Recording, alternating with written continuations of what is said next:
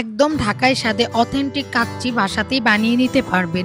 খুবই সহজ। প্রথমে কাচ্চির জন্য গোটা মশলা যেমন জয়িত্রী, এলাচ, লবঙ্গ, সাদা গোলমরিচ, কালো গোলমরিচ, ধনিয়া, মৌরি, শাহিজিরা, কাবাব চিনি, জিরা, পোস্তদানা, দারুচিনি, শুকনো মরিচ, তেজপাতা, জায়ফল, বড় এলাচ এবং স্টার। সবগুলো শুকনো খোলায় ড্রাই রোস্ট করে নেব এরপর ঠান্ডা হলে মশলাগুলো গুঁড়ো করে রাখব। এবার মাংস ম্যারিনেট করার পালা। মাংসের সাইজ এরকম হলে খুবই ভালো হয়। হাঁড়িতে মাংস দিয়ে স্বাদ মতো লবণ, দেড় কাপ টক দই, হাফ কাপ টমেটো সস, দুই টেবিল চামচ আদা বাটা, এক টেবিল চামচ রসুন বাটা, দেড় চা চামচ মরিচ গুঁড়া। বানিয়ে নেওয়া কাচ্চি মশলা। দুই টেবিল চামচ ফুড কালার অপশনাল, কেওড়া জল তিন টেবিল বেশ ভালো পরিমাণে বেরেস্তা, কাঁচা পেঁপের খোসা বাটা দুই টেবিল চামচ। এবং বেরেস্তা ভাজা তেল দিয়ে খুব ভালো করে মাখিয়ে নেব। এই ম্যারিনেশনটা এক থেকে দেড় ঘণ্টার জন্য করতে পারলে ভালো হয়। হাতে সময় না থাকলে আধা ঘণ্টা রাখতে হবে। এবার কাচ্চির অন্যতম উপাদান বড় সাইজের কাটা আলুগুলো পরিমাণ মতো লবণ ও জর্দার রং দিয়ে মেখে হালকা করে ভেজে তুলে রাখব। এই ফাঁকে দুধ জাফরানের একটি মিশ্রণও বানিয়ে রাখব।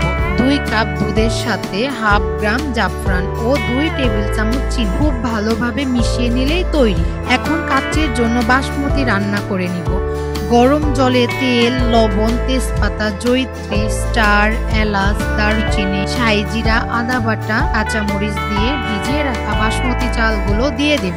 এখানে দুই কেজি মাটনের জন্য নেওয়া হয়েছে দেড় কেজি বাসমতি, যা দিয়ে এগারো থেকে বারো জন অনায়াসে খেতে পারবে। এখন ঢাকনা খুলে প্রথম লেয়ারের জন্য আলুগুলো সাজিয়ে নিব এরপর দিব গুঁড়ো দুধ এবং কাজু বাদাম, কাঠবাদামের গুঁড়ো। বেরেস্তা, ছ থেকে সাতটা আলু বখরা এবং এক মুঠো কিশমিশ এর মধ্যে ভাত হয়ে গেছে।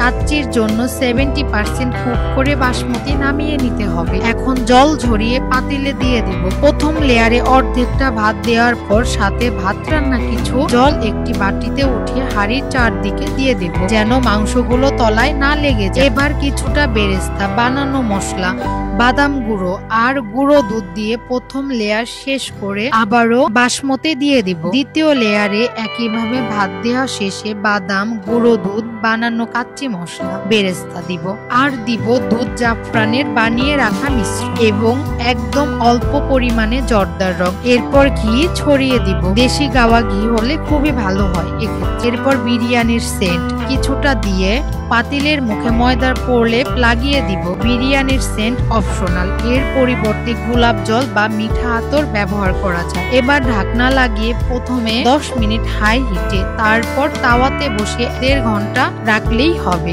এখন পরিবেশনের পালা। ট্রাই করে দেখতে পারেন। খেতে দুর্দান্ত হয়েছে।